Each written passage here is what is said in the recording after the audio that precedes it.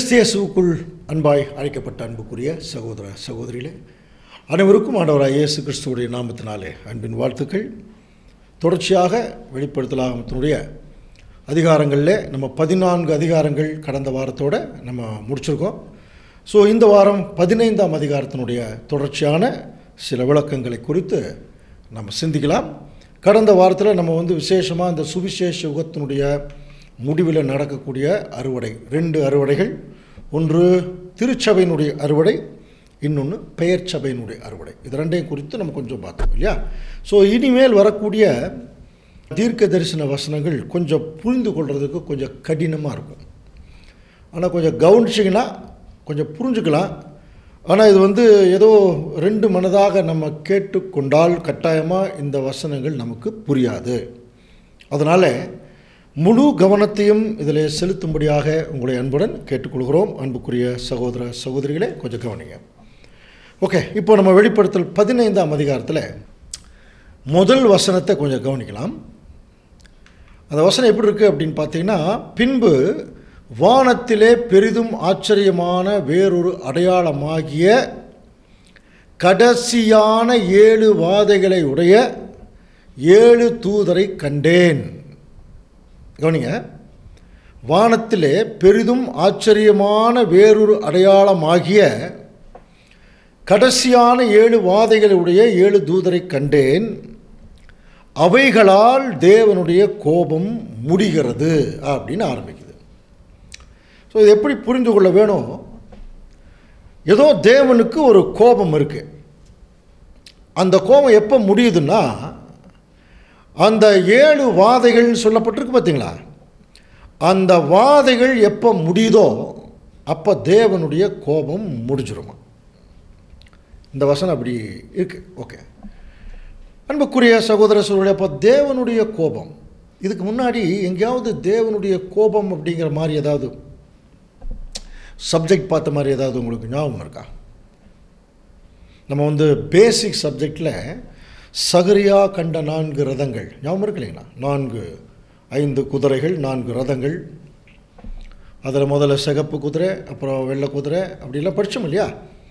அதில் நம்ம கவனிக்கும்போது வந்த குதிரைகள் மறுபடியும் திரும்பி போகுதான்.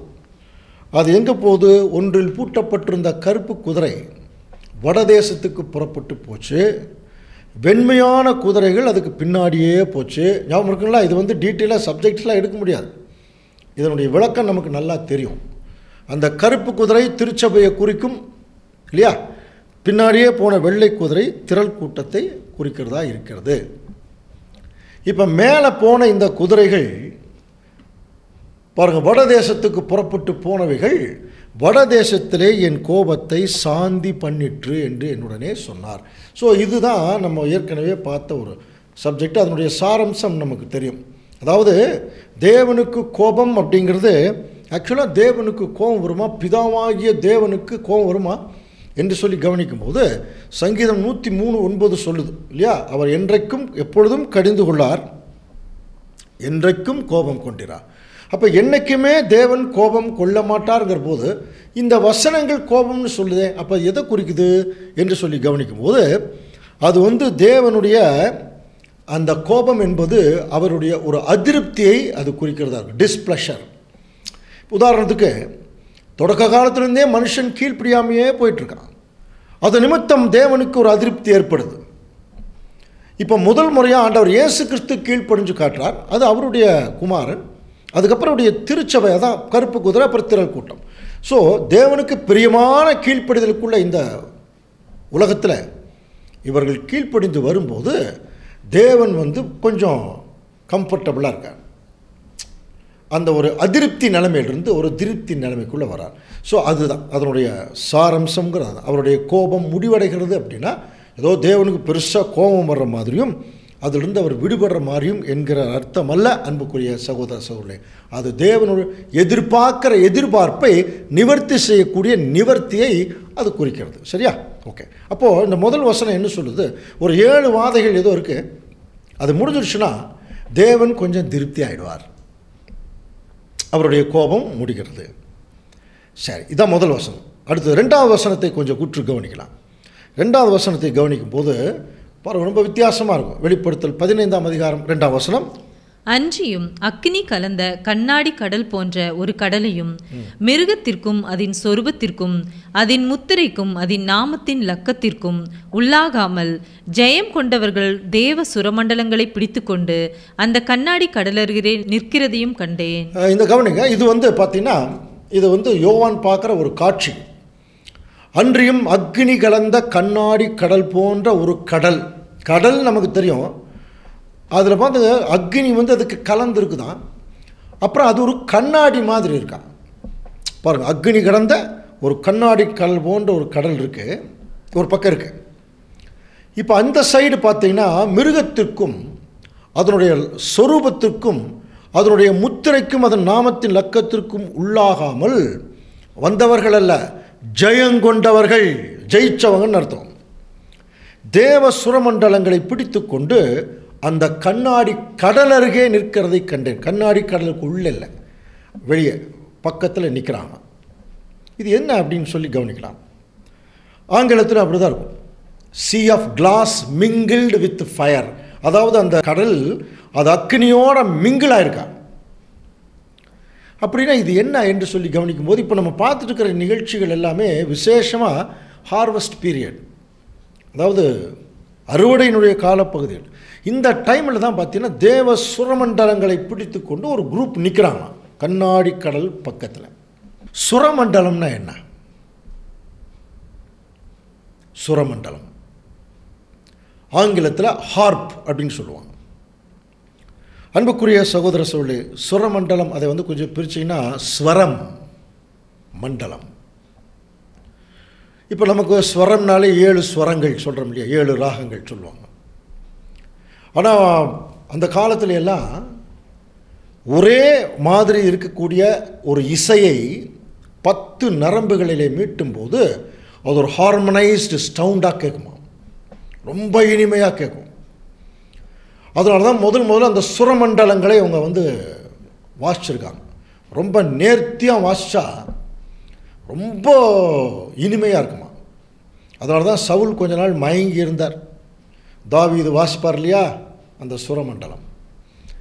இது வந்து ஸ்வரம்னாலே அந்த ராகம் அப்படின்னு அர்த்தம். அது வந்து பார்த்தீங்கன்னா இப்போ நமக்கே இந்த கீபோர்டில் பார்த்தீங்கன்னா நாலு விரல் நாலு கட்டையில் வந்து நம்ம வந்து பஞ்ச் பண்ணுவோம். அப்படி பஞ்ச் பண்ணும்போது அதை தனித்தனியாக பஞ்ச் பண்ணால் ஒரு சவுண்டு கேட்கும் நாளையும் ஒட்டுக்கா ஒரு யூனிஃபார்மிட்டியில் பஞ்ச் பண்ணால் ஒரே மாதிரி சவுண்டு கேட்கும் அந்த மாதிரி பத்து நரம்புகள் கொண்ட இந்த சுரமண்டலம் அது ரொம்ப அழகாக ஒரே சவுண்டு கேட்குமா பத்து நரம்புகளை இசைக்கும் போது அந்த மாதிரி ஒரு சுரமண்டலங்களை தான் இவங்க பிடிச்சிட்டு எங்கே நிற்கிறாங்க கண்ணாடி கடல் அருகே நிற்கிறாங்க நின்றுட்டு என்ன சொல்கிறாங்க அடுத்த வசனம் வாசிக்கலாம். அவர்கள் தேவனுடைய ஊழியக்காரனாகிய மோசையின் பாட்டையும் ஆட்டுக்குட்டியானவருடைய பாட்டையும் பாடி சர்வ வல்லமையுள்ள தேவனாகிய கர்த்தாவே தேவரீருடைய கிரியைகள் மகத்துவமும் ஆச்சரியமானவைகள். பரிசுத்தவான்களின் ராஜாவே தேவரீருடைய வழிகள் நீதியும் சத்தியம் உள்ளவைகள். இவங்க அந்த சுரமண்டலங்களை பிடிச்சிட்டு என்ன பண்ணுறாங்கன்னா மோசேயினுடைய பாட்டையும் ஆட்டுக்குட்டியானுடைய பாட்டையும் பாடுறாங்க. அப்போது அது மட்டும் இல்லை சர்வ வல்லமையுள்ள தேவனாகிய கர்த்தாவே இப்போ தேவனை புகழ்ந்து பாடுறாங்க. தேவரீருடைய கிரியைகள் மகத்துவம் ஆச்சரியமானவைகள். பரிசுத்தவான்களின் ராஜாவே தேவருடைய வழிகள் நீதியும் சத்தியமானவைகள். ஸோ இது வந்து தேவனுடைய அளவற்ற வந்து அந்த அந்த ஞானத்தை அவருடைய கிரியை புகழ்ந்து பாடுறாங்களாம். யார்? அந்த சுரமண்டலங்களை பிடிச்சிட்டு நிற்கிறவங்க சரிங்களா? ஒரு குரூப் நிற்கிறாங்க இல்லையா? தேவனுடைய சுரமண்டலங்களை அங்கே பிடி. இது யார் என்று சொல்லி கவனிக்கும்போது மிருகத்திற்கும் அதனுடைய சொரூபத்திற்கும் அதனுடைய முத்திரைக்கும் உள்ளாகாதவர்கள். அப்படின்னா இவங்க யார்? கொஞ்சம் கவனிக்கலாமா? இவங்க யார்?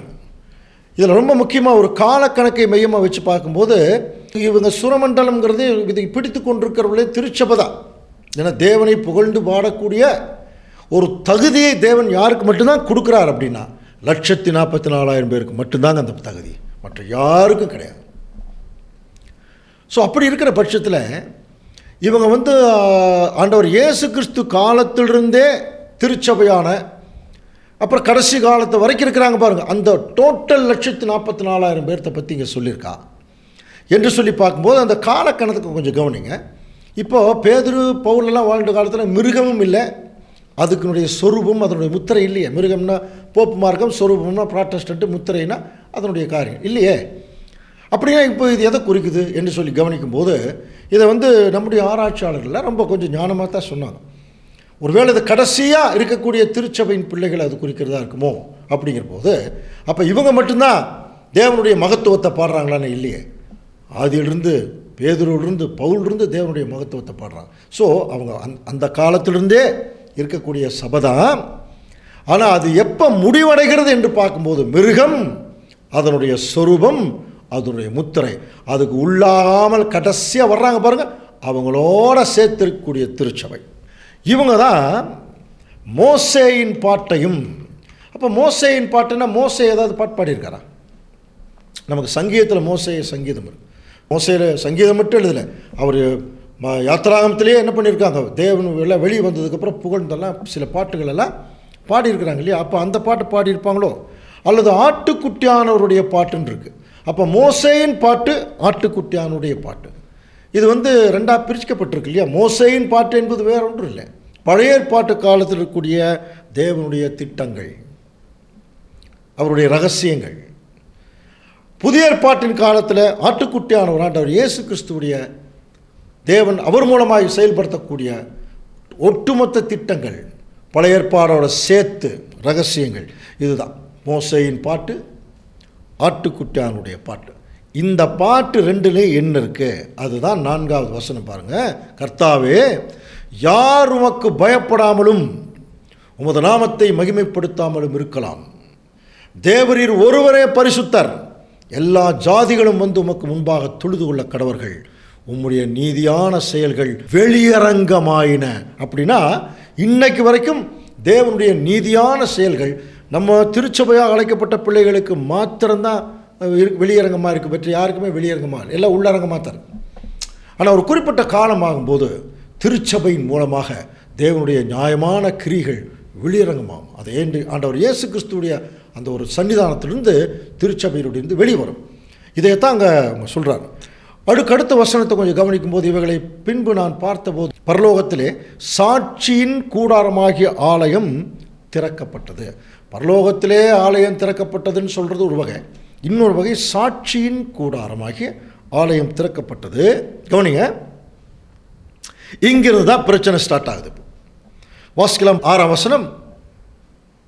அந்த ஆலயத்திலிருந்து ஏழு வாதைகளை உடைய அவ்வேழு தூதர்களும் சுத்தமும் பிரகாசமான மெல்லிய வஸ்திரம் தரித்து மார்பருகே பொற்கச்சைகளை கட்டிக்கொண்டு புறப்பட்டார்கள்.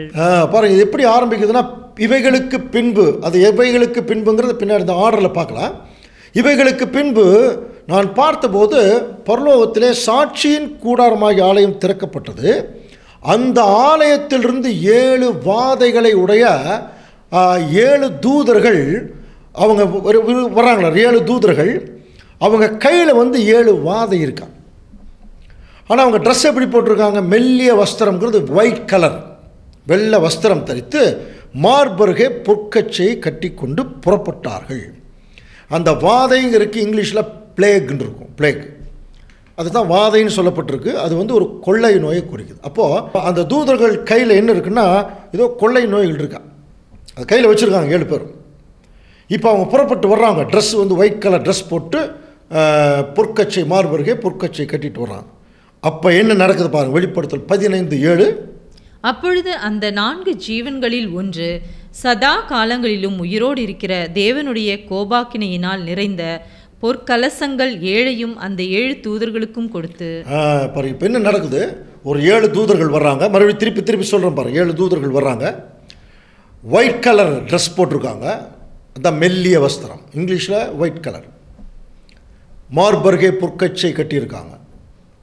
இப்போ அவங்க புறப்பட்டு வர்றாங்க. அப்போ அப்பொழுது அந்த நான்கு ஜீவன்கள் அப்போ நம்ம ஏற்கனவே தெரியும் இல்லையா? அது சிங்காசன காட்சியில் பார்த்துருக்கோம் இல்லையா?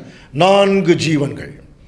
அந்த நான்கு ஜீவன்களில் ஒன்று ஒரு ஜீவன் ஒன்று சதா காலங்களிலும் உயிரோடு இருக்கிற தேவனுடைய கோபாக்கினியால் நிறைந்த பொற்கலசங்கள் ஏழையும் அந்த ஏழு தூதர்களுக்கு கொடுத்துதான். இந்த நான்கு ஜீவன்களை ஒரு ஜீவன் என்ன பண்ணுதுன்னா தேவனுடைய கோபாக்கினியால் நிறைந்த பொற்கலசங்களை எடுத்து அந்த ஏழு தூதர்கள் எடுத்தையும் அங்கே கொடுத்தது.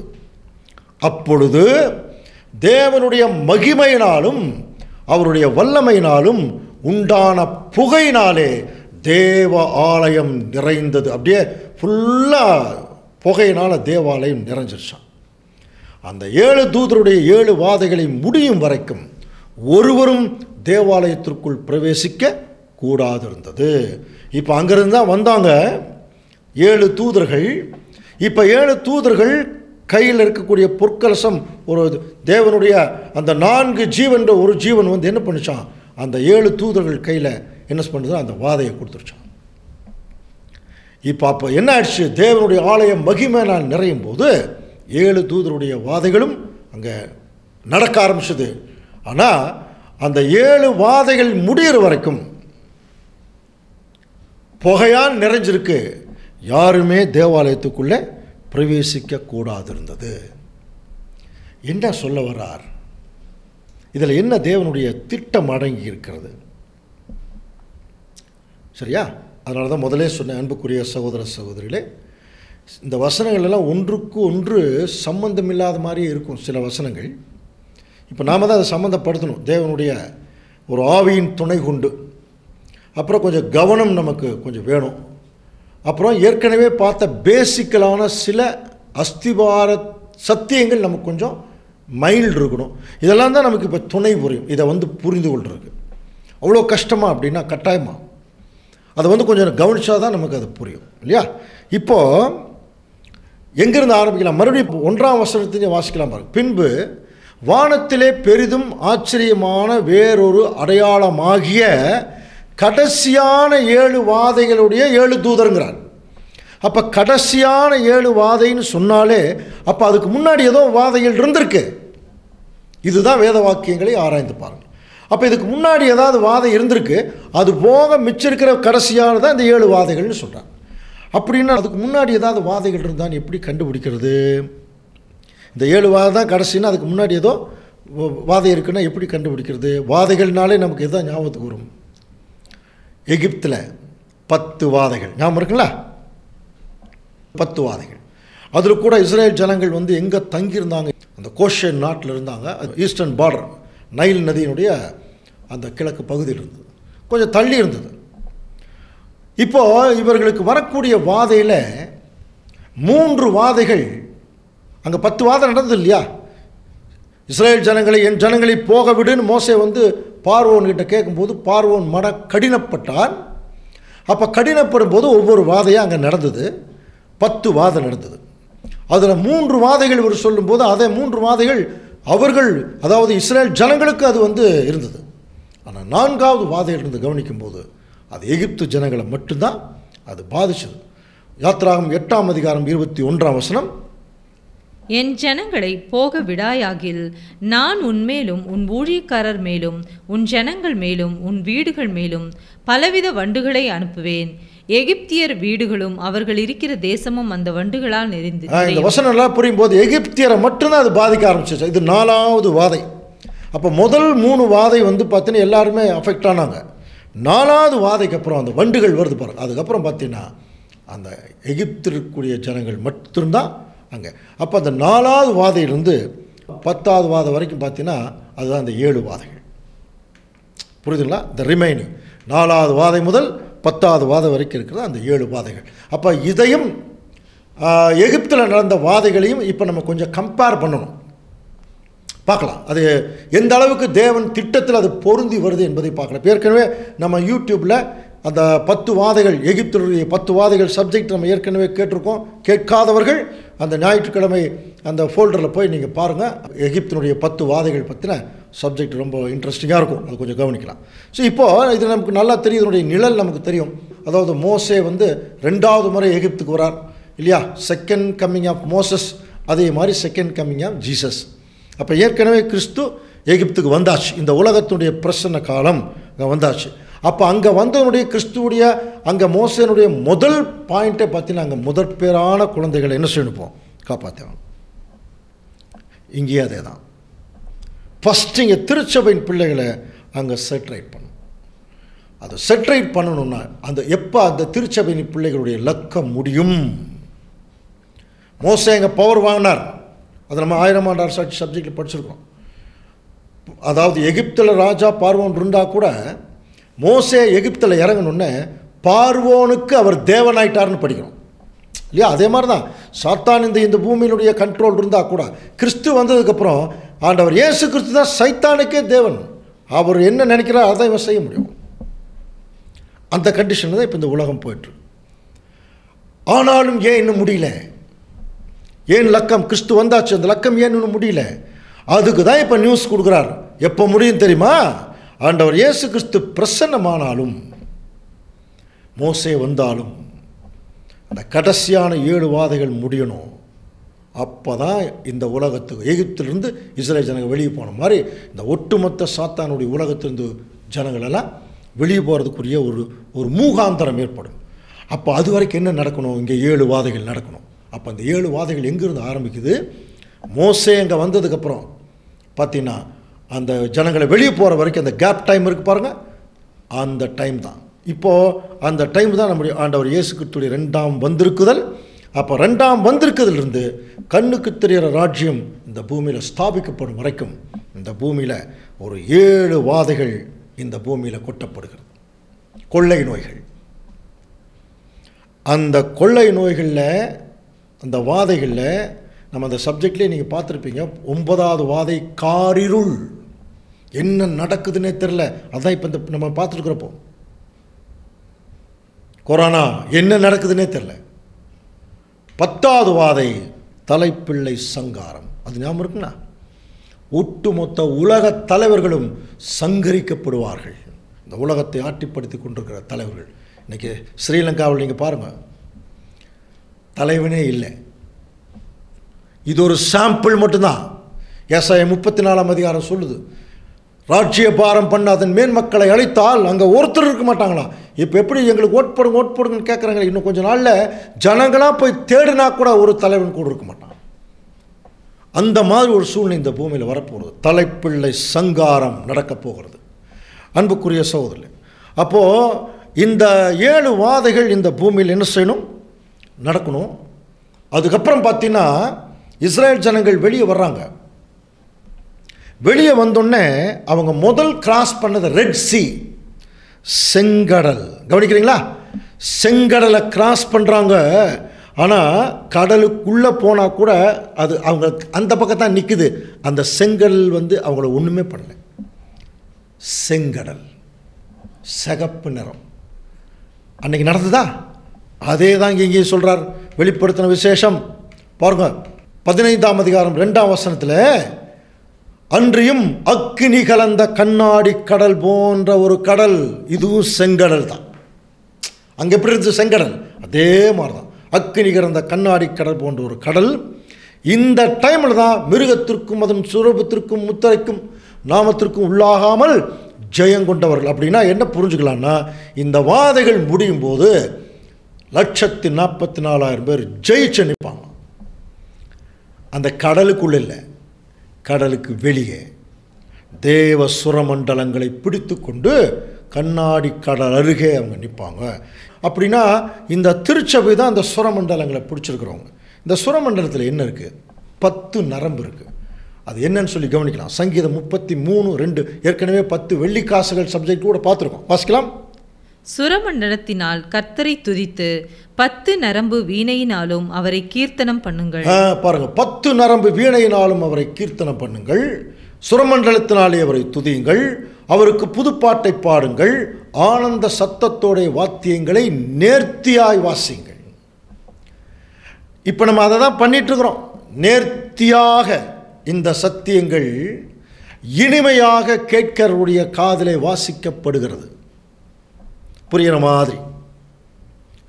அடுத்தது தொண்ணூற்றி ரெண்டாம் சங்கீதம் ரெண்டாம் வசனம்.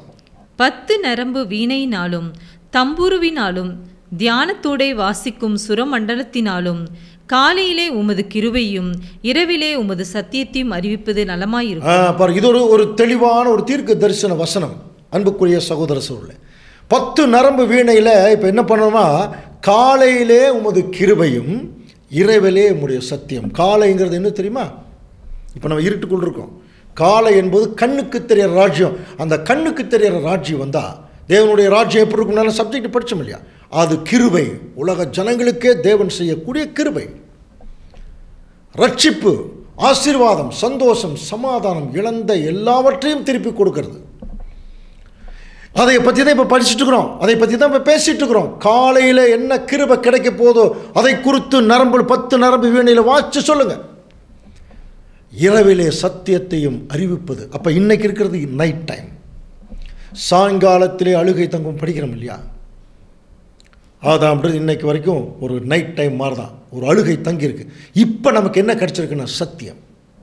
அப்போ இந்த சத்தியம் இரவில் நமக்கு கிடச்சிருக்கு. காலையில் கிருப கிடைக்க போகுது. இதை குறித்து தான் தேவனுடைய பிள்ளைகள் என்ன செய்யணும்? விசேஷமாக ராஜ்யத்தின் ரகசியங்களை இந்த பூமியில் அவர்கள் என்ன செய்யணும்? சொல்லணும். அப்படி சொல்லக்கூடிய ஜனங்கள் தான் ஜெயங்கொண்டவர்கள் ஆக்சுவலாக அவங்க நிற்கிறவங்க யாருன்னா ஜெயிச்சவங்களாம். இப்போ நம்மளாம் ஜெயித்தவங்களான இல்லை. அப்போ ஜெயித்தவங்க தான் இந்த டோட்டல் தேவனுடைய திட்டங்களை புரிந்து கொண்டிருப்பார்கள். அப்போ இப்போ நம்ம என்ன பண்ணிட்டுருக்கோம்? அதுக்கு ஓடிட்டு இருக்கிறோம் அப்படின்னா என்ன அர்த்தம் தெரியுங்களா? இன்னும் நாம் தெரிந்து கொள்ள வைத்துக்கொள்ள வேண்டிய சத்தியங்கள் நிறைய இருக்குதுங்க. கொஞ்சம் தெரிஞ்சிட்டு எல்லாம் தெரிஞ்சிருச்சுன்னு நினச்சிடாதீங்க. ஜெயிச்சவங்க தான் ஃபுல்லாக தெரிஞ்சவர்களாக அர்த்தம். நம்ம ஜெயிப்பதற்காக என்ன பண்ணிகிட்ருக்கோம் பந்தய சாலையிலே ஓடிக்கொண்டிருக்கிறோம். ஓடிக்கொண்டிருக்கிற போதே நம்ம ஜெயிக்கவெல்லாம் முடியாது. ஓடி முடித்தா தான் ஜெயிச்சதாக அர்த்தம். ஜெயிக்கிற மனநிலையோடு ஓடலாம். நாம் ஜெயிக்கணும்னு ஓடலாம். மற்றவர்கள் தோற்கணும்னு ஓடக்கூடாது. நம்முடைய ட்ராக் நம்ம ஜெயிக்கணுங்கிறது தான். மற்றவர்கள் காரியமெல்லாம் இல்லை. இல்லையா? அப்போ தேவனுடைய பிள்ளைகள் திருச்சபை வந்து அவங்க ரொம்ப அட்வான்ஸாக இருப்பாங்க. ஆனால் வந்து நாம் அதற்காக ஓடிக்கொண்டிருக்கிறவர்கள் நாம் என்ன செய்யணும்? நாம் கொஞ்சம் இன்னும் நிறைய தெரிஞ்சுக்கணும். ஆனாலும் இப்போ நம்ம கிடைச்சிருக்கிற வாய்ப்பில் தேவனுடைய பிள்ளைகள் எல்லா இடத்துலையும் சத்தியம் சொல்லிட்டு தான் இருக்கணும். சுரமண்டலங்கள் நம்ம கையில் இருக்குது ஓரளவுக்கு நேர்த்தியாக தான் வாசிக்கிறோம்? அது தேவனுடைய மகத்துவங்களை வெளிப்படுத்தும். ஏன் நமக்கு இந்த வாய்ப்பு கிடைச்சிருக்குன்னா இஸ்ரேல் ஜனங்கள் அந்த வாய்ப்பை தவற விட்டுட்டாங்க. அவங்க என்ன பண்ணாங்க தெரியுங்களா? ஒரு முறை பாபிலோனுக்கு சரிப்பட்டு போகும்போது ஒரு ஃபேமஸான ஒரு பாட்டு கேள்விப்பட்டிருக்கீங்களா? ரொம்ப famous by the rivers of Babylon அப்படின்னு ஒரு பாட்டு. அந்த பாட்டை நீங்கள்லாம் ஓரளவுக்கு யாரோ கேள்விப்பட்டிருக்கலாம். இந்த பாட்டு ஒரு தீர்க்க தரிசன வசனத்தை அடிப்படையாக கொண்டு எழுதப்பட்ட பாட்டு. நூற்றி முப்பத்தேழாம் சங்கீதத்தில் அந்த இஸ்ரேல் ஜனங்கள் வந்து அழுதுட்டுருக்கிறாங்களா பாருங்கள் பாபிலோன் ஆறுகள் அருகே நாங்கள் உட்கார்ந்து அங்கே சியோனை நினைத்து நாங்கள் அழுதுட்டு இருந்தோம் அப்படின்னு அவங்க ஒரு பாட்டு பாடுறாங்க. சொல்கிறாங்க ஏன்னா இவங்க இப்போ சிறைப்பட்டு போயிட்டாங்க. பாபிலோன் ஆறுகள் அருகே உட்காந்துட்டு சியோனுங்கிறது இவங்களுடைய தலைநகரம். மலை. அங்கே இருந்த வாழ்க்கை அதை நினச்சி நினச்சி அழுகுறாங்களாம். அப்புறம் அதன் நடுவில் இருக்கும் அலறி செடிகளின் மேல் எங்கள் கிண்ணறங்களை தூக்கி வைத்தோம். அப்போ கவனிச்சு பாருங்க எங்களை சிறைப்பிடித்தவர்கள் அங்கே எங்கள் பாடல்களையும் எங்களை பாழாக்கினவர்கள் மங்கள கீதத்தையும் விரும்பி சியோனின் பாட்டுகளில் சிலதை எங்களுக்கு பாடுங்கள் என்று சொன்னார்கள். அவங்க வந்து எங்களுடைய பாட்டை ரொம்ப விரும்பி உங்கள் பாட்டை ஏதாவது ஒன்று ரெண்டு பாடுங்கன்னு சொன்னால் என்ன பண்ணோம்? பாடணுமில்ல இவங்க என்ன பண்ணுறாங்க பாருங்க. சங்கீதம் நூற்றி முப்பத்தேழு நாலு. கர்த்தரின் பாட்டை அந்நிய தேசத்தில் நாங்கள் பாடுவதெப்படி ஆ, கர்த்தரின் பாட்டை அந்நிய தேசத்தில் நாங்கள் பாடுவது எப்படி? சொல்கிறாங்களா இங்கே தானுங்க பாடணும். ராஜ்யத்தின் சுவிசேஷம் உலகமெங்கும் சொல்லணும்ல. பாடணும் இல்லையா? இவங்க பாருங்க அந்த வி வைராக்கியம். அந்நிய தேவருடைய பேரை சொல்ல வேண்டாம்னு சொன்னால் சொல்கிறாங்க அந்நிய தேவ காரியங்களை உச்சரிக்க சொன்னால் அதெல்லாம் செய்கிறாங்க ஆனால் அந்த வீராப்பு மட்டும் பாருங்க இந்த ஜனங்களுக்கு அந்நிய தேசத்தில் போய் எங்கள் தேவனை குறித்து நாங்கள் பாட மாட்டோம். இங்கே தாங்க பாடணும். அன்றைக்கு இஸ்ரேல் ஜனங்கள் செய்த தவறை ஆவிக்குரிய இஸ்ரேல் ஜனங்கள் செய்ய மாட்டாங்க. எப்போ எங்கே எங்கேயாவது தேவனை குறித்து பாடுறதுக்கு வாய்ப்பு இருக்கான்னு அலைந்து திரிந்து கொண்டிருப்பார்கள் அப்போஸ்தலனாகிய பவுளை போல. நல்லா கவனிங்க. சுவிசேஷத்தை பிரசங்கியாவிட்டால் எனக்கு ஐயோ சொன்னார் இல்லையா? அப்போது உண்மையான தேவனுடைய பிள்ளைகள் எங்கேயாவது எங்கேயாவது தேவனுடைய மகத்துவங்களை எங்கேயாவது சொல்ல முடியுமா? அவர்கள் புரிகிற மாதிரி ரசித்து ருசித்து சொல்ல முடியுமா? வசனங்கள் என்கிற தேனை எடுத்து ஊட்டி சொல்ல முடியுமா? அப்படின்னு நினைத்து கொண்டிருக்கிறவள் இவங்களுக்கு தாங்க அந்த வாய்ப்பு. இதே நூற்றி முப்பத்தேழாம் சங்கீதம். பாருங்கள் இவங்க என்ன மாதிரி மிஸ்டேக் அடுத்த வசனம் பாருங்கள் நூற்றி முப்பத்தேழு ஏழு கர்த்தாவே எருசலேமின் நாளில் ஏதோமின் புத்திரரை நினையும். இப்போ அடுத்து அப்படியே ட்ராக் மாத்திர பாருங்க. எருசலேமின் நாளில் ஏதோமின் புத்திரரை நினையும். அவர்கள் அதை இடித்து போடுங்கள் அஸ்திவாரம் மட்டும் இடித்து போடுங்கள் என்று சொன்னார்களே. இப்போ என்ன சொல்றார்? தேவனுடைய சித்தம் பாருங்க இந்த திட்டத்தில் எருசலேமின் நாளில் அப்படிங்கிற போது இந்த கடைசி நாளை பற்றி பேசுகிறார் ஏதோமின் புத்திரரை நினையும். ஏதோமின் புத்திரங்கிறது ரொம்ப டீப்பாக நம்ம போனோம்னா ஏசாவுடைய சந்ததி சேஷ்டபுத்திர பாகத்தை இழந்து போன இஸ்ரேல் ஜனங்களுக்கு ஒப்பாக சொல்லப்பட்ட போப்பு மார்க்கம். அவங்க தான் நம்முடைய அஸ்திவாரத்தை இடிச்சிருவோம்னு சொல்கிறாங்களா போன சப்ஜெக்ட்லாம் பார்த்தோம் இல்லையா? நம்முடைய அஸ்திவாரத்தை இடிச்சிருவோம்னு சொல்கிறாங்களா இப்போ என்ன நடக்க போகுது பாருங்கள் ஜட்ஜ்மெண்ட் இது நம்ம இதுதான். இப்போ நம்ம அடுத்து பார்க்க போகிற வசனம் தான் அன்புக்குரிய சகோதர சகோதரர்களே.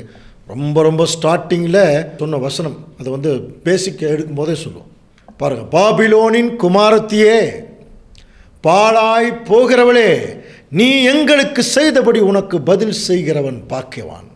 பாபிலோன் குமாரத்தி யாருங்க? ப்ரோட்டஸ்டன்ட் பாலா போக போதான் அதான் போ கடந்த வாரத்தில் பார்த்தோம் இல்லையா? பூமியின் திராட்சை பழங்கள். பாலா போக போதும். நீ எங்களுக்கு செய்தபடி உனக்கு செய்கிறவன் பாக்கியவான். அப்போ இவங்க என்ன செஞ்சாங்களா பாபிலோன் குமார்த்தியே பாலாய் போகிறவர்களேங்கிறவங்க யாருன்னா கிறிஸ்துவ தவறான கிறிஸ்துவ அமைப்பு. இது வந்து முதல் சபையினுடைய காலத்திலே வந்தாச்சு. அவங்க என்ன பண்ணாங்க தெரியுங்களா? தவறு. அதுதான் இப்போ இப்போ வந்து அதை நமக்கு பதில் செய்கிறோமா நம்ம? என்ன பதில்? இவங்க என்ன பண்ணாங்க? நல்ல சபைக்குள்ளே நல்லவர்களைப் போல உள்ள பூந்து கள்ள போதகத்தை ஏற்படுத்தி ஜனங்களை வந்து என்ன வசியப்படுத்தி நிறைய பேர்த்த தவறாக வழி நடத்திட்டாங்க. புரியுதுங்களா? தெரியல ஜனங்களுக்கு. அவங்க பின்னாடி நிறைய பேர் போயிட்டாங்க. இன்னைக்கு அதுக்கு பழி வாங்குறார் தேவன். அதான் நீ எங்களுக்கு செய்தபடி உனக்கு பதில் செய்யப்படும். இன்னைக்கு என்ன நடக்குதுன்னா கள்ள சபைக்குள்ள நல்ல தேவனுடைய பிள்ளைகள் உள்ளே பூந்துட்டாங்க அதுதான் இன்னைக்கு நம்ம நடக்கக்கூடிய ஊழியங்கள். நோட்டீஸ் அடிக்கிறோம். ராஜ்யத்தின் சுவிசேஷம் இயேசு கிறிஸ்துவனுடைய சத்தியம் அப்படியெல்லாம் போடும்போது அவங்கெல்லாம் என்ன நினச்சிக்கிறாங்க? ஓ இது இயேசு தான் சொல்கிறாங்க போல் இருக்கு அவர்கள் எல்லாம் ஓரளவுக்கு வந்து உள்ளே வரும்போதே இப்போ நம்ம என்ன செய்கிறோம் அவர்களுக்கு உண்மையான சத்தியத்தை சொல்லி கொடுத்து. உண்மையான சத்தியத்தில் வர்றவங்களே நம்ம என்ன செய்கிறோம் அவருடைய திருச்சபையாக மாற்றுறோம் நம்ம நல்லது செய்கிறோம் அவங்க கெட்டது செஞ்சாங்க. இப்போ அதுக்கு தான் சொல்கிறார் நீ என்ன செஞ்சையோ அதுக்கு உனக்கு பதில் செய்யப்படும். எப்படி தெரியுங்களா? உன் குழந்தையை பிடித்து கல்லில் மோதி அடிக்கிறவன் பாக்கியவான். இந்த வசனத்துக்கு ஏற்கனவே விளக்கம் பார்த்துட்டோம் இல்லையா? பாபிலோனின் குமாரத்தின் குழந்தையாரு சியோனே. பாபிலோனின் குமாரத்தின் குடத்தில் குடியிருக்கிற சியோனே உன்னை விடுவித்துக்கொள் எப்படி வெளியே வருவாங்கன்னா இந்த குழந்தைய பிடிச்சி உண்மையான திருச்சவின் பிள்ளைகள் இன்னைக்கும் பாபிலோன் குமாரத்தினுடைய கையில் இருக்கிற சியோன் மாற ஒரு சில தேவனுடைய பிள்ளைகள் இருக்காங்க. அவர்களை வந்து உண்மையான திருச்சவின் பயிர்கள் எடுத்து இயேசு கிறிஸ்துங்கிற கல்லில் மோதுறாங்க. மோதுறதுன்னா புரியுது அடிக்கிறது இல்லை அவருடைய ஞானத்தோடு சேர்த்துறது. யாரெல்லாம் கிறிஸ்துவோடைய சேர்த்துகிறார்களோ அவர்கள் பாக்கியவான்கள். அப்போ அன்புக்குரிய சகோதர சோழ இந்த வேலை தான் இப்போ நடந்துகிட்ருக்கு அப்போ நம்ம வந்து தேவனுடைய சுரமண்டல கையில் வச்சுக்கிட்டு எப்போதுமே தேவனுடைய சத்தியங்களை சொல்கிறதுக்கு ரெடியாக இருக்கணும். ஜெயிச்சவங்க அங்கே நின்றுருக்காங்க எங்கே? கண்ணாடி கடலுக்கு பக்கத்தில் நாம் ஜெயித்து கொண்ட அதாவது அந்த நிலைமைக்கு போகிறவங்க எங்கே தெரியுமா இருக்கும்? கண்ணாடி கடலுக்குள் இருக்கும். கண்ணாடி கடலுக்குள் இருக்கும். இங்கே நம்முடைய வேலையை அங்கே செய்ய வேண்டிய வேலையை இங்கே செஞ்சு காட்டணும். ப்ரூவ் பண்ணணும்.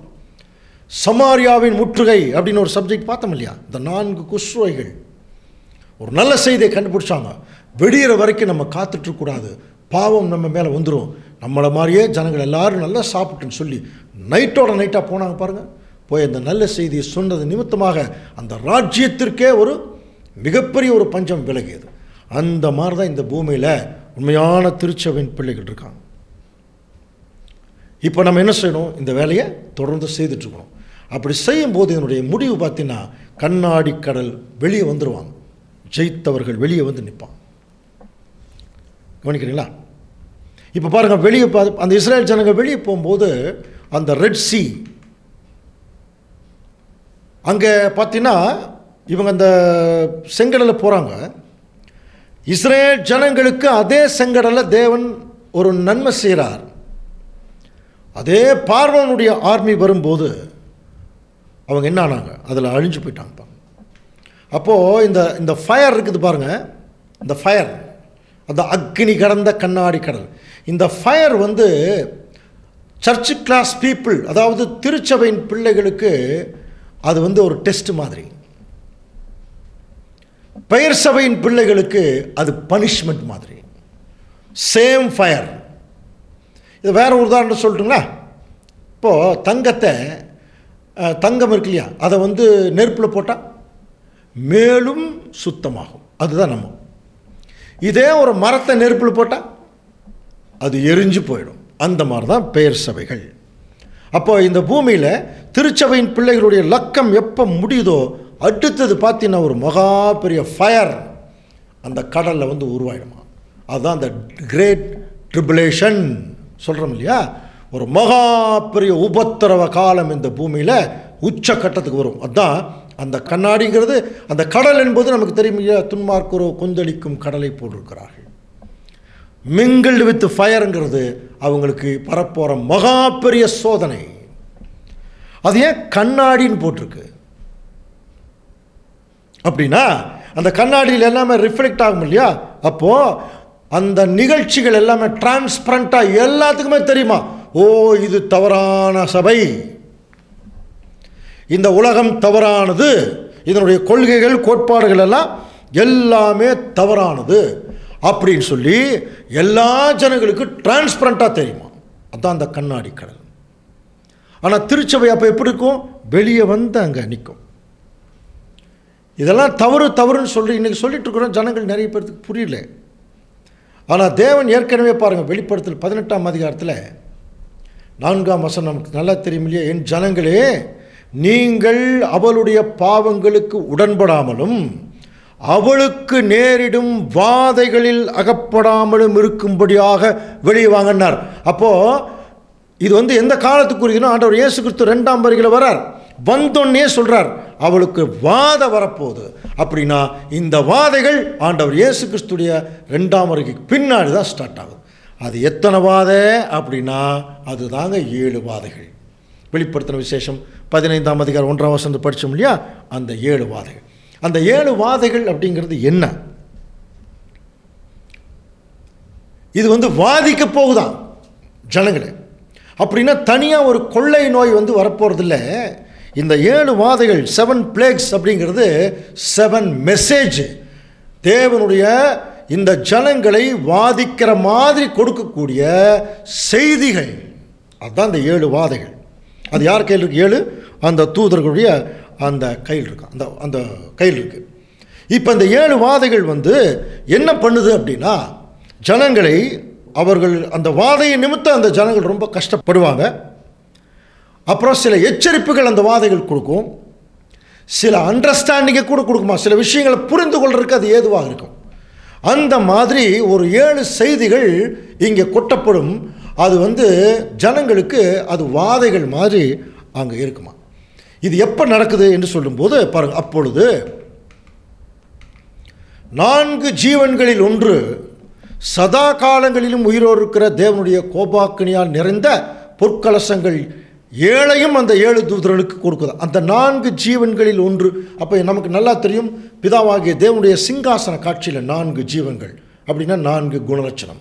ஃபோர் அட்ரிபியூட்ஸ் ஆஃப் காட் அவருடைய ஞானம் அன்பு வல்லமை நீதி.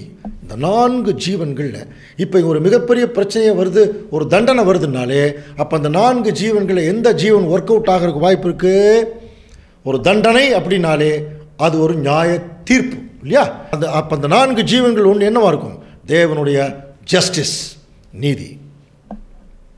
த டிவைன் ஜட்ஜ்மெண்ட் இது வந்து இயேசு கிறிஸ்துடைய ரெண்டாம் வருகையினுடைய காலத்துக்கு பிறகு அந்த ஒரு மகா பெரிய நியாய தீர்ப்பு வரப்போகுது இதில் என்ன விசேஷம்னா தேவன் ஒரு குறிப்பிட்ட காலம் வரைக்கும் அவர் வெயிட் பண்ண அவ ஒரு ஜட்ஜ்மெண்ட் கொடுக்குறாங்கன்னு என்ன அர்த்தம்? த ஆர்கியூமெண்ட் இஸ் ஓவர் அப்படின்னு என்ன அர்த்தம்.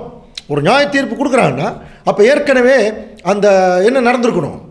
ஆர்கியூ பண்ணுறதுக்கணும் எது சரி எது தவறு எது சரியில்லை எது வந்து இப்படி பண்ணிட்டாங்க எது இப்படி பண்ணிட்டாங்க இந்த மாதிரி.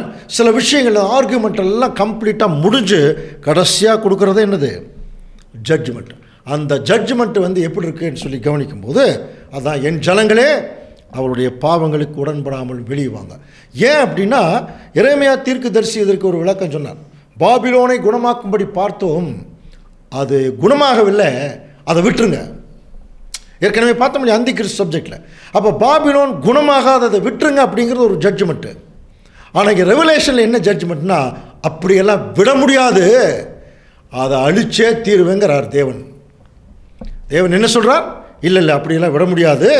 அந்த ஒரு அமைப்பு அழியப்பட வேண்டிய அமைப்பு. அதுதான் தேவனுடைய நீதி சொல்தான் ஏன்னா இதை மறுபடியும் விட்டு வச்சா இன்னும் கோடிக்கணக்கான ஜனங்களை அது என்ன பண்ணும்? ஏமாற்றி அழிவுக்குள்ளே கொண்டு போயிடும். உண்மையாக சொல்லப்போனால் திருச்சபையின் பிள்ளைகளே நிறைய பேர் அதில் ஏமாந்து போயிடுவாங்க. எப்படி நம்ம மற்ற இருபத்தி நான்காம் அதிகாரத்தில் படிக்கிறோம் இல்லையா?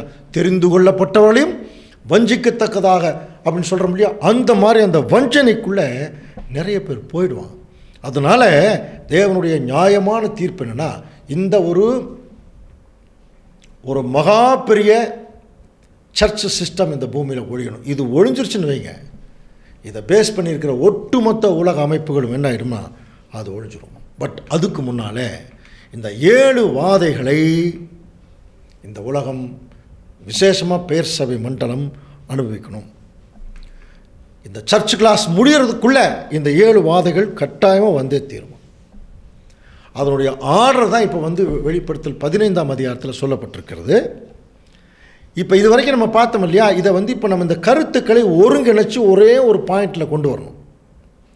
இப்போ இந்த பதினஞ்சாம் அதிகாரத்தை குறித்து ஏற்கனவே இன்ட்ரொடக்ஷனில் என்ன சொன்னோம்னா இது கொஞ்சம் புரிஞ்சுக்கிற கொஞ்சம் கஷ்டமாக இருக்கும். காரணம் என்ன அப்படின்னா இது எழுதப்பட்ட கிரேக்க மொழி வந்து பார்த்தீங்கன்னா உங்களுக்கு தெரியும் இல்லையா ரிவர்ஸில் எழுதுவாங்க. அப்படி ரிவர்ஸில் எழுதும்போது சில வசனங்கள் முன்னையும் சில வசனங்கள் பின்னையும் அந்த ஆர்டரில் மாறி இருக்கு. கருத்துக்கள் அடிப்படையில் தேவனுடைய திட்டத்தினுடைய அடிப்படையில் அது இல்லை. ஆர்டர் கொஞ்சம் மாறி இருக்கு. இப்போ நமக்கு என்ன செய்யணும்? அந்த ஆர்டர் படுத்தி அதை வாசிக்கணும். அந்த சீக்வன்ஷியல் ஆர்டர் என்னங்கிறது பார்த்தீங்கன்னா ஃபஸ்ட்டு ஒன்றாவது வசனம் அப்புறம் ஆறு அப்புறம் ஏழு அதுக்கப்புறம் அஞ்சு அதுக்கப்புறம் எட்டு அதுக்கப்புறம் ரெண்டு. இப்படி வாசித்தா ஓரளவுக்கு நமக்கு அதனுடைய அந்த சாரம்சங்கள் புரிஞ்சிடும். இப்போ வாசிக்கலாம் பாருங்கள் பின்பு வானத்திலே பெரிதும் ஆச்சரியமான அடையாளமான கடைசியான ஏழு வாதைகளுடைய ஏழு தூதரை கண்டேன். அவைகளால் தேவனுடைய கோபம் முடிகிறது. அப்போ ஒரு ஏழு வாதை வரப்போது அந்த ஏழு வாதை முடியும் போது தேவனுடைய கோபம் அவருடைய அந்த அதிருப்தி சரியாயிடும். இது எப்போ நடக்கிறது? அடுத்த வசனம் பாருங்கள் பதினஞ்சாம் அதிகாரம் ஆறாம் வசனம். அந்த ஆலயத்திலிருந்து ஏழு வாதைகளை உடைய அவ்வேழு தூதர்களுக்கும் சுத்தமும் பிரகாசமான மெல்லிய வஸ்திரம் தரித்து மார்பருகே பொற்கச்சைகளை கட்டிக்கொண்டு புறப்பட்டார்கள். இப்போ முதல் வசனத்துடைய கனெக்டிங் வசனம் புரியுதுங்களா? அப்போ அந்த ஆலயத்திலிருந்து ஏழு வாதைகளுடைய ஏழு தூதர் சுத்தமும் மெல்லிய வஸ்திரம் தரித்து பொற்கச்சைகளை கட்டி கொண்டிருந்தார்கள் அப்போ அந்த நான்கு ஜீவன்களில் ஒன்று வந்து தேவனுடைய கோபாக்கினியால் நிறைந்த பொற்கலசங்கள் அந்த ஏழையும் எடுத்து அந்த தூதர்களுக்கு என்ன பண்ணிட்டான்னா கொடுத்துட்டான். ஏற்கனவே அவங்க மார்பர்கை பொற்கட்சி கட்டி ஒயிட் கலர் ட்ரெஸ் போட்டிருக்காங்க. இப்போ அவங்க வந்து பார்த்திங்கன்னா அவங்க கையில் இப்போ தேவனுடைய நீதி என்னும் அந்த ஒரு விஷயம் என்ன பண்ணுதுன்னா கோபாக்கினியால் நிறைந்த பொற்கலசம். அப்போ அது அது ஊற்றுனா அது வாத தான் வரும். இல்லையா? ஸோ இதை வந்து கொடுத்துட்டாங்க. அடுத்தது அஞ்சாம் வசனம். இவைகளுக்கு பின்பு நான் பார்த்தபோது பரலோகத்திலே சாட்சியின் கூடாரமாகிய ஆலயம் திறக்கப்பட்டது. அப்போது நமக்கு நல்லா தெரியும் சாட்சியின் கூடாரம்னாலே நமக்கு எங்கே தான் நமக்கு புரியும்னா ஆசரிப்பு கூடாரம். அதில் அடிக்கடி நம்ம தமிழில் பார்ப்போம் சாட்சி சந்நிதி அப்படின்றோம் இந்த சாட்சி சந்நிதிங்கிறதுல இந்த மோஸ்ட் ஹோலின்னு அர்த்தம். மகா பரிசுத்த ஸ்தலம். அப்போது சாட்சியின் கூடாரமாகிய ஆலயம் திறக்கப்பட்டதுன்னா ஆண்டவர் இயேசு கிறிஸ்துடைய காலத்துக்கு பிறகு அதாவது ரெண்டாம் வருகைக்கு பிறகு மகா பரிசுத்த ஸ்தலத்திற்கு போகிறதுடைய வழி திறக்கப்பட்டது என்று அர்த்தம். கவனிங்க இதுதான் முக்கியமான பாயிண்ட் மகா பரிசுத்தலத்துக்கு போகக்கூடிய வழி என்ன ஆயிடுச்சு இப்போ? திறந்துருச்சு. இதே மாதிரி ஒரு வசனம் பதினொன்றாம் அதிகாரத்தில் கூட பார்த்தோம். பாருங்க அப்பொழுது பரலோகத்திலே தேவனுடைய ஆலயம் திறக்கப்பட்டது. அவருடைய ஆலயத்தின் அவருடைய உடன்படிக்கை பெட்டி காணப்பட்டது. அப்பொழுது மின்னல்களும் சத்தங்களும் இடி முழக்கங்களும் பூமி எதிர்ச்சியும் அஹ், என்ன ஆச்சுன்னா உண்டாச்சு. நல்லா படிக்கிறோம் இல்லையா? ஸோ இதெல்லாம் சில வசனங்கள் எல்லாம் அது திறக்கப்பட்டதுனாலே அதனுடைய வழி திறக்கப்பட்டது என்று பொருள். அப்போது ஆண்டவர் இயேசு கிறிஸ்து காலத்துக்கு பிறகு எப்படி முதல் வருகையில் ஆண்டவர் வந்தோடனே தேவாலயத்தினுடைய திரைச்சீலை ரெண்டாக மேலிருந்து கெழிஞ்சது இல்லையா? அது எதை குறிக்குது? ஆண்டவர் இயேசு கிறிஸ்து வந்ததுக்கு பிறகு பரலோக ராஜ்யத்துக்கு போகக்கூடிய வழி திறக்கப்பட்டது அப்படின்னு புரிஞ்சுது. இப்போ இயேசு கிறிஸ்து ரெண்டாம் வருகையில் வந்ததுக்கு பிறகு பரலோக ராஜ்யத்துக்கு போகிற வழி திறக்கப்பட்ட வழியில் போனவங்கள் எல்லாருமே பரலோக ராஜ்யத்தில் பிரவேசிப்பதற்குரிய அந்த ஒரு ஆயத்த நிலை. அவங்களுக்கு அந்த வழிமுறைகள் எல்லாமே தேவன் அவங்களுக்கு என்ன பண்ணுறாருன்னா ஓப்பன் பண்ணுறார் ஆனால் எல்லாருமே போயிட்டாங்களான்னா இல்லை. அதான். ஏன் அப்படின்னா அதுக்கு ஒரு முக்கியமான விஷயந்தான் இப்போ இந்த தீர்க்க தரிசனத்தில் பார்க்குறோம் விசேஷமாக இதனுடைய நிழல் எங்கே இருக்குன்னா முதல் முதல்ல சாலமோன் ஆலயம் கட்டினார் பாருங்க. அவர் ஆலயம் கட்டும்போது அங்கே என்ன நடந்து பாருங்க. அப்பொழுது ஒன்று ராஜாக்கள் எட்டு பத்து வாசிக்கலாம். அப்பொழுது ஆசாரியர்கள் பரிசுத்த ஸ்தலத்திலிருந்து புறப்படுகையில் மேகமானது கர்த்தருடைய ஆலயத்தை நிரப்பிற்று. பாருங்க. மேகமானது கர்த்தருடைய ஆலயத்தை விசேஷமாக அந்த மகா பரிசு ஸ்தலம் அந்த பகுதி எல்லாம் நிரப்பிட்டு மேகத்து நிமித்தம் ஆசாரியர்கள் ஊழியம் செய்கிறதற்கு நிற்கக்கூடாமல் போயிற்று. கர்த்தருடைய மகிமை கர்த்தருடைய ஆலயத்தை. அப்போது ஃபுல்லாக மேகம் மறைச்சதுனால ஆசாரியர் உள்ளே போக முடியலையா?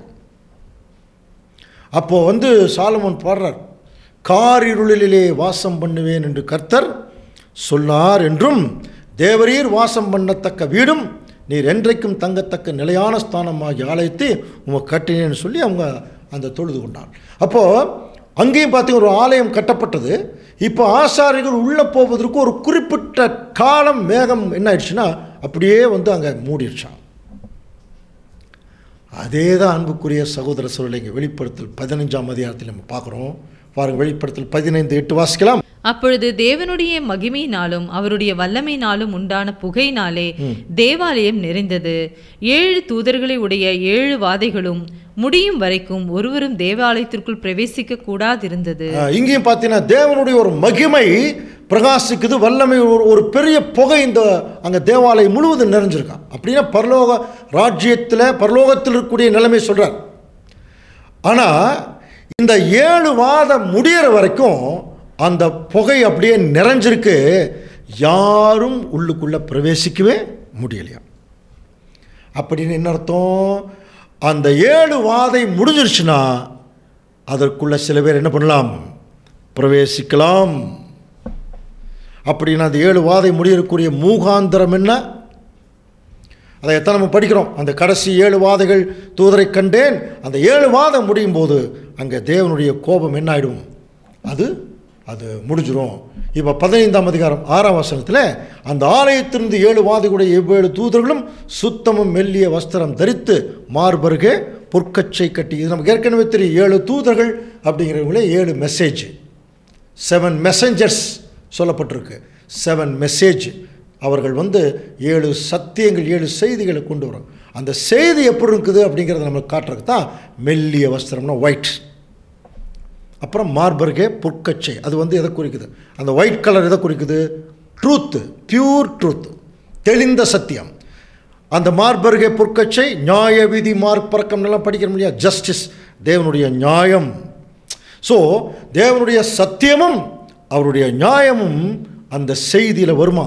அது வந்து ஜனங்களை எதேற்று அதை அது வரக்கூடிய ஜனங்களுக்கு சில நேரங்கள் அது எச்சரிப்பு கொடுக்கும் சில நேரத்தில் அது வலியை கொடுக்கும் அண்டர்ஸ்டாண்டிங் கொடுக்கும் சில வாதைகள் மாதிரியே அவங்க ஆகிட்டுருக்கும் ஸோ இதை குறித்து சொல்லும்பொழுது தான் அப்பொழுது அந்த நான்கு ஜீவங்களில் ஒன்று சதா காலங்களிலும் உயிரோடு இருக்கிற தேவனுடைய கோபாக்கினியால் நிறைந்த பொற்கலசங்கள் ஏழையும் அந்த ஏழு தூதர்களுக்கும் கொடுத்தது. வாங்கின உடனேயே அந்த ஏழு வாதைகள் ஸ்டார்ட் இப்போ நம்ம எதுக்குள்ளே தான் இருக்கோம் தெரியுங்களா? அந்த ஏழு வாதைக்குள்ளே தான் இருக்கும். கண்ணாடி கடலுக்குள் இருக்கும். ஆனால் ஜெயிச்சவங்க எங்கே நிற்கிறாங்கன்னா கண்ணாடி கடலுக்கு வெளியே நிற்கிறாங்க அன்புக்குரிய சகோதர சகோதரி.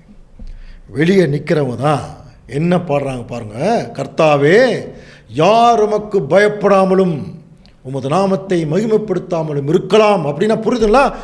எல்லாரும் பிதாவாகிய தேவனுடைய நாமத்தை மகிமைப்படுத்தணும். அதிகாரமாக சொல்லுவாங்களாம். தேவரீர் ஒருவரே பரிசுத்தர்.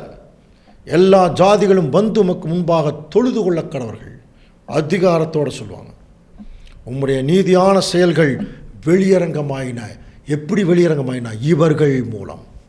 இந்த இவர்கள் மூலம் எப்படி வெளியரங்கமாயின? அதுக்கு அது ஆதாரம் தான். அவர்கள் மோசையின் பாட்டையும் ஆட்டுக்குட்டியானவருடைய பாட்டையும் பாடுறாங்க. அப்போ மோசையினுடைய பாட்டு என்பது பழைய பாட்டு காலத்தில் இருக்கக்கூடிய தேவனுடைய திட்டம். ஆட்டுக்குட்டியானுடைய பாட்டு என்பது புதிய பாட்டின் காலத்தில் இருக்கக்கூடிய தேவனுடைய திட்டம். இதை எல்லாம் தெளிவாக எடுத்து உலக ஜனங்களுக்கு சொல்லக்கூடிய நிலைமையில் இருப்பான். எட்டாம் வசனம் வாசிக்கலாம். அப்பொழுது தேவனுடைய மகிமையினாலும் அவருடைய வல்லமையினாலும் உண்டான புகையினாலே தேவாலயம் நிறைந்தது. ஏழு தூதர்களை உடைய ஏழு வாதைகளும் முடியும் வரைக்கும் ஒருவரும் தேவாலயத்திற்குள் பிரவேசிக்க கூடாதிருந்தது. அப்போ அந்த ஏழு வாதைகள் முடிகிற வரைக்கும் ஒருவரும் அப்படி பிரவேசிக்க கூடாது இருந்து என்ன அர்த்தம்? புரியுதுங்களா? லட்சத்து நாற்பத்தி நாலாயிரம் பேரில் இப்போ கொஞ்சம் கவனிங்க. இப்போ ஒரு சிலர் உயிர் தெழுந்து போயிட்டாங்கன்னு படிக்கிறோம். குளோரிஃபைடு சர்ச்சு ஆனால் உயிர் தெழுந்து போனவர்கள் பிதாவாகிய தேவனிடத்தில் போயிட்டாங்கன்னா இல்லை. இயேசு கிறிஸ்து கிட்ட தான் போயிருக்காங்க. கவனிக்கலா? லட்சத்தி நாற்பத்தி நாலாயிரம் பேரில் உயிர் தெழுந்த திருச்சபை ஆண்டவர் இயேசு கிறிஸ்து கிட்ட தான் போயிருக்காங்க. அதனால தான் ஒன்று தேசனிக்கிற நாலாம் அதிகாரத்தில் நம்ம படிக்கிறோம் இல்லையா? அவர் வானத்திலிருந்து இறங்கி வருவார் அப்பொழுது கிறிஸ்துவுக்குள் மறித்தவர்கள் முதலாவது எழுந்திருப்பார்கள். பின்பு உயிரோடு இருக்கிற நாமும் அவர்களோடே கூட ஆகாயத்தில் எடுத்துக்கொள்ளப்பட்டு இவ்விதமாய் அவருடனே இருப்போம். அப்போ இயேசு கிறிஸ்துக்கிட்ட தான் போய் சேர்ந்துருக்காங்க. இன்னும் யார்கிட்ட போகல தேவனிடத்தில் போல எப்போ போவாங்க? என்னைக்கு லட்சத்து நாற்பத்தி நாலாயிரம் முடிவடைகிறதோ அப்போ போவாங்க. அது வரைக்கும் தேவாலயம் புகையினால் நிறைந்திருக்கும் ஒருவரும் உள்ள பிரவேசிக்க கூடாது. புரியுதுங்களா? அப்போது லட்சத்து நாற்பத்தி நாலாயிரம் பேர் என்னைக்கு முடிவடைகிறார்களோ அப்பொழுது அவர்கள் அது அந்த விலகிரும் அவர்கள் உள்ளே போவாங்க. சரி எப்போ போவாங்க? அந்த ஏழு வாதைகள் முடியணும். ஏழு வாதைகள் எப்போ முடியணும்? லட்சத்து நாற்பத்தி நாலாயிரம் பேர் செலக்ட் ஆகும்போது முடியும். லட்சத்து நாற்பத்தி நாலாயிரம் பேர் எப்படி எப்போ செலக்ட் ஆவாங்க? ஏழு வாதைகள் முடியும் போது. அப்படின்னா இப்போ நம்முடைய நோக்கம் முழுது அந்த ஏழு வாதை எப்போ தாங்க முடியும். அப்படின்னா அந்த ஏழு வாதை என்ன என்பதை முதல்ல கவனிக்கணும். இல்லையா? அந்த ஏழு வாதைகள் அடுத்த வாரத்திலிருந்து ஒவ்வொரு வாதையாக தொடங்கும். ரொம்ப இன்ட்ரெஸ்டிங்காக இருக்கும். அந்த ஏழாவது வாதை முடியும் போது ஒருவேளை இந்த உலகமும் முடிந்திருக்கலாம். அதுக்கான வாய்ப்பும் இருக்குது பார்க்கலாம். தேவனுடைய சித்தம் என்னன்னு தெரியல. ஆனால் அந்த ஏழு வாதைகள் நான் சொல்கிறது அடுத்த வாரமே முடியுங்கிற அர்த்தம் அல்ல. இந்த ஏழு வாதைகள் சொல்லப்பட்ட சாரம்சங்கள் நம் கண்கூடாக பார்க்கப்படும் போது இந்த உலகத்தினுடைய முடிவை நம்ம சீக்கிரம் பார்த்துடலாம். தேவன் தாமே இந்த வசனங்களை நமக்கு ஆசீர்வாதமாக்கி தருவாராக. ஆமென்.